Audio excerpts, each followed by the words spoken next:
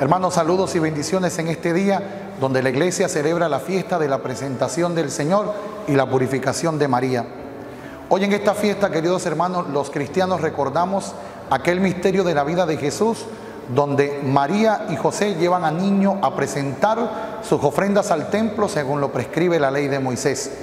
Ahí se encuentran con un anciano llamado Simeón, donde este anciano esperando el cumplimiento de la promesa de Dios, alaba al Señor, bendice al Señor y dice que ya como sus ojos han visto al Salvador, pueden descansar en paz.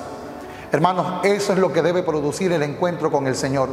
Paz, regocijo, de saber que Dios ha cumplido su promesa, de saber que con el nacimiento de Jesús, hoy 40 días después, concretados en esta fiesta, Dios nos recuerda la grandeza de su amor.